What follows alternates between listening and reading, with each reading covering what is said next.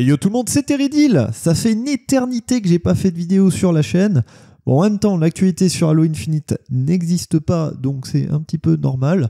Quoi qu'il en soit, on a eu beaucoup d'annonces très très très importantes qui ont été faites à l'occasion de la finale des Halo World Championship 2024 dans la nuit du 7 octobre, qui a par ailleurs consacré Space Station Gaming, dont Legend fait partie en tant que champion du monde sur Halo en 2024, ce qui fait donc de Legend le premier joueur français à obtenir le titre de champion du monde, donc énorme GG à lui. Mais ce n'est pas le sujet de cette vidéo. Ce dont nous allons parler aujourd'hui, c'est du rebranding de 343 Industries en Halo Studios et du fait que le futur des jeux Halo ne se fera pas sous Sleep Space Engine, mais sous Unreal Engine 5. Alors évidemment, ça fait beaucoup de sujets et c'est très très très lourd de conséquences. Donc cette annonce, elle a été faite par le biais d'une vidéo de 7 minutes qui donne euh, un aperçu des possibilités de l'Unreal Engine 5. Donc il euh, n'y a rien de, contractuel hein, dans la vidéo qui est montrée. Ils expliquent bien que tous les visuels qui sont présentés sont des visuels qui sont faits à titre d'entraînement pour les développeurs afin de maîtriser euh, l'Unreal Engine 5. Les visuels que vous verrez sont des visuels euh, démonstratifs. C'est de la démo pure et dure. Je prends un peu le temps pour le préciser parce qu'il y a des rumeurs qui courent sur un éventuel remake d'Halo CE, un deuxième, qui serait fait sous UE5. Évidemment, les visuels, on voit du Halo CE dessus. Peut-être que ces rumeurs partent de là, peut-être qu'il y a un vrai fond de vérité, on n'en sait absolument rien. Donc ne vous hypez pas pour rien, c'est des informations qu'on ne peut pas vérifier en l'état actuel. Alors pourquoi abandonner le Sleep Space alors qu'ils viennent de le développer expressément pour Halo Infinite et qu'ils devaient même à la base, ils envisageaient l'étendre à d'autres licences qui font partie du Xbox Game Studios? Bah, visiblement, c'est que le moteur graphique euh, ne fait pas le taf. Alors, est-ce que c'est une question de performance? Est-ce que c'est une question de rendu? Est-ce que c'est une question de prise en main? Est-ce que c'est une question de maintenance? Est-ce que c'est une question de coût? Enfin, c'est sûrement un petit peu de tout ça. Hein, puisqu'il faut bien avoir en tête qu'un moteur graphique qu'on développe soi-même, évidemment, les compétences ne sont pas disponibles sur le marché de l'emploi. Donc, c'est du temps pour former les gens. Et alors, si les gens ils prennent un an avant d'être opérationnels, c'est très très très compliqué surtout quand on est euh, bah, sur un jeu service où il faut délivrer du contenu normalement de manière régulière. Euh, donc euh, ça, ça, doit coûter extrêmement cher. Et puis en plus de ça, il y a des gros turnovers, il y a eu énormément de licenciements chez 343 Industries, hein. on en avait parlé début 2023 dans une vidéo dédiée justement. Donc bon, c'est sûrement un tout. passer sur un moteur graphique qui est largement plus accessible que le Sleep Space Engine, ça permet de recruter des gens qui sont déjà capés, qui vont qui vont pas prendre ultra longtemps à monter en compétence. C'est sûrement des coûts de maintien aussi pour, euh, pour ce moteur graphique qu'il faut faire vivre hein, quand on le développe soi-même en moins. Mais bon, je pense que l'Unreal Engine 5, euh, il a quand même montré de quoi il était capable. C'est pas pour rien que c'est un des moteurs graphiques, euh, ou même le moteur graphique le plus utilisé dans l'industrie du jeu vidéo, je suis pas certain de ça. Bon, en tout cas, à mon avis, vu les déboires que rencontre Halo et vu les retards qu'on a eu ces dernières années à cause du moteur graphique, il me semble quand même que c'est pas une mauvaise idée d'abandonner le Sleep Space. Hein. Alors le passage à l'UE5, alors ça aussi c'est un serpent de mer, on en entend parler depuis un an avant la sortie d'Infinite. Donc euh, fin 2020, si je dis pas de bêtises. Et c'était par le biais d'un article de soit Bloomberg, soit Windows Central, je mélange tout le temps les deux. Euh, qui nous disait que 343 Industries avait sérieusement exploré la piste de l'UE5 pour Halo Infinite. Bon, la fin de l'histoire, on la connaît, ils sont restés sur Sleep Space. Alors ça traduisait euh, probablement de défauts de jeunesse du Sleep Space, qui est un nouveau moteur et qui était forcément immature.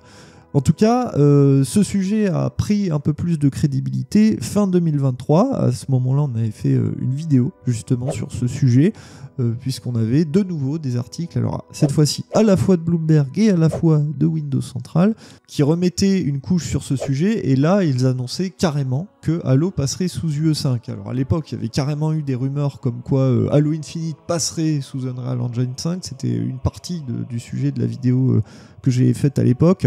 Bon, ça paraît quand même un peu extravagant de changer le moteur graphique d'un jeu en cours, c'est absolument impossible. Hein. C'est changer les fondations d'une maison, ça se fait pas quoi. Donc cette rumeur qui venait quand même de Bloomberg et Windows Central, qui sont quand même euh, des sources plutôt bien informées en général quand il ouvre, c'est qu'il y a quelque chose derrière, intervenait aussi dans un contexte où 343 Industries venait de supprimer un certain nombre de postes. Alors le nombre exact on l'a jamais eu, hein, mais vraisemblablement c'était euh, plusieurs centaines Et ça intervenait aussi après le fait que Bonnie Ross ait passé la main à Pierre Hintz, le papa de Halo Wars 2 et de, la MCC, quelques mois auparavant.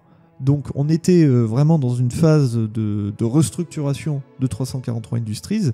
Donc euh, cette information, dans ce contexte-là, euh, avait une certaine crédibilité, d'autant que bah, le Sleep Space, on sait que ça fait des années qu'il pose de gros problèmes sur le suivi de Halo Infinite, et que c'est probablement une des raisons pour lesquelles on a aussi peu de contenu qui est ajouté sur le jeu. Bon, ça restait une information à prendre en l'état, non confirmée. Et aujourd'hui, on a donc la confirmation que Halo va passer sous UE5 pour ses futurs opus. Alors difficile de parler du passage à l'UE5 sans parler de l'autre très grosse information qui est le rebranding de 343 Industries en Halo Studios. Alors clairement, je vais pas les pleurer, 343 Industries. Ça fait des années qu'ils font absolument n'importe quoi, qu'on n'a aucune visibilité sur l'avenir de Halo, qu'ils ignorent totalement leur communauté et nous compris. Donc clairement, je vais pas les pleurer. Et ce rebranding en Halo Studios, puisque c'est en façade un rebranding, dans le fond, ce n'est ni plus ni moins que la destruction de 343 Industries et sa refondation totale. Alors ce nom, Halo Studios, il a quand même une certaine ambiguïté parce qu'on pourrait euh, comprendre euh, dans Studios qu'il y aurait plusieurs studios qui rejoindraient euh, ce giron et qui deviendraient tous des, studios qui développent des jeux Halo, un petit peu comme les studios qui développent les Call of Duty par exemple. Mais dans un article de Xbox Wire qui a été publié après la finale des Halo World Championship, il est clairement dit que Halo Studios, c'est le rebranding de 343 Industries. Alors ça fait aussi écho à une autre rumeur qui avait éclaté euh, début 2023 euh, qui disait que 343 Industries ne deviendrait qu'un gestionnaire de la licence euh, à haut niveau et que derrière il délèguerait le développement de tous les jeux Halo à d'autres studios. Bon, eh ben, l'actualité du jour nous dit bien le contraire, hein, puisque 343 Industries, même si c'est bien plus qu'un rebranding, hein, c'est une réorganisation totale, va rester le développeur de Halo. Et il y aura pas, alors il y aura sûrement ponctuellement d'autres studios qui, vont intervenir dans, le développement de jeux Halo, mais comme ça a toujours été le cas dans, dans l'histoire de Halo, avec les Halo Wars notamment. En tout cas, c'est bien Halo Studios qui aura la charge de développer les futurs jeux Halo. Et il est aussi indiqué qu'ils veulent changer la recette qui avait été euh, mise en place jusqu'à maintenant avec 343 dans le développement des jeux Halo et qu'ils voulaient aller vers une, organisation totalement différente. Et ça, ça passe par l'augmentation de la fréquence de sortie des jeux. Alors enfin, j'ai envie de dire, parce que là ça commence à faire un peu long, 5 ou 6 ans pour un jeu, on vieillit nous en attendant. Et donc ça, ça implique peut-être, et ça c'est mon interprétation, que Halo Studios aurait une organisation un peu proche de celle que Ubisoft peut avoir, à savoir que quand vous jouez à un jeu Assassin's Creed, vous jouez à un jeu Ubisoft. Pour autant, il a été développé soit par Ubisoft Montréal, soit par euh, Ubisoft Montpellier, par exemple, mais c'est tagué Ubisoft. Et pour Halo Studios, il pourrait avoir une organisation qui est similaire, à savoir avoir bah, des micro-studios ou alors des très grosses équipes, je sais pas comment il faut les appeler, qui développeraient en parallèle plusieurs projets Halo, ce qui nous permettrait d'avoir une fréquence de sortie des jeux qui serait bien plus grande et aussi une offre dans le contenu Halo qui serait beaucoup plus diversifiée et imaginons peut-être des spin-offs enfin, ce qui serait quand même une putain de bonne nouvelle, ça nous permettrait aussi d'avoir du contenu narratif plus régulier. Alors peut-être qu'on aurait un multijoueur de Halo et à côté on aurait du contenu narratif. Bon là, tout le monde peut y aller de sa spéculation. De toute façon, c'est pas demain la veille qu'on va voir euh, bah, le, produit de, cette euh, refondation de 343. En tout cas, je trouve que c'est euh, énormément de bonnes nouvelles et puis surtout ça donne l'optimisme pour l'avenir. Alors le truc c'est que le maintien de Halo Infinite va suivre son cours hein, pour les 1, 2, peut-être 3 ans euh, à venir. En attendant la suite de Halo, alors est-ce que le suivi de Halo Infinite va changer du tout au tout? Moi je pense pas. À mon avis, ils sont en train de laisser petit à petit mourir comme ils le font depuis un ou deux ans. Et puis après, on n'en entendra plus parler de Halo Infinite et ce sera pas plus mal. Et je pense que j'ai fait le tour du sujet en gros, hein, parce qu'on pourra en parler pendant des heures et euh, ça fera sûrement l'objet d'autres vidéos.